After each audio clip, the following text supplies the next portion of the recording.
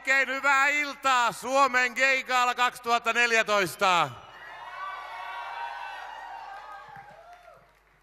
Tää on huikeeta, että ollaan saatu tää gaala Suomeen ja Helsinkiin.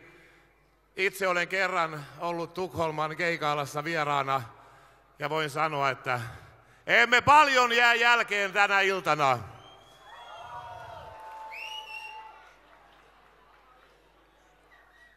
Vuoden kotimainen artisti on tärkeä meille kaikille drag-esiintyjille, koska ilman sitä aitoa artistia meillä ei olisi niin paljon upeita hahmoja, mitä kaikkia me kaikki teemmekään. Katsotaan ehdokkaat. Noin, siinä oli mahtava joukko upeita ehdokkaita. Tää on liimattu ihan helvetin lujaa kiinni. Enkä avaa.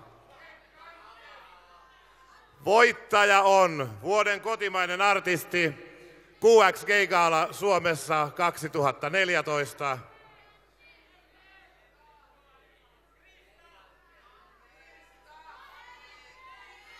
Krista Siegfried!